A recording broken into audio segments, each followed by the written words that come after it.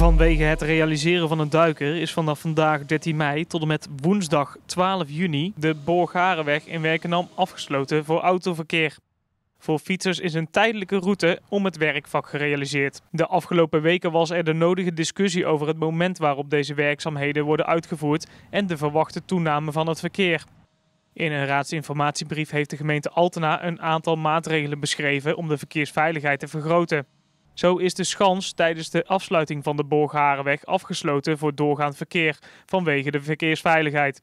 Verkeersregelaars bedienen hier de slagboom zodat bestemmingsverkeer toegang kan krijgen tot de schans. Door de afsluiting zal op een aantal wegen de verkeersdrukte toenemen, waaronder de Van Randwijklaan.